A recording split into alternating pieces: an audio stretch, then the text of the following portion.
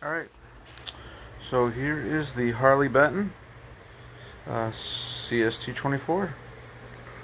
As you can see, uh, everything is uh, a little covered in dust. I didn't want to uh, take the, the, box out of the box. Uh, um, no damage to this. Um, checked, checked it over uh, real quick.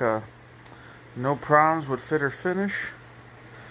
Um, the boxes had no dings or dents of any kind. Um, also, uh, let it be known that it came in five days from date of order. So, um, the yeah, the box inside a box, that was the, the outside box, thing's huge. Uh, this is the, uh, the other box.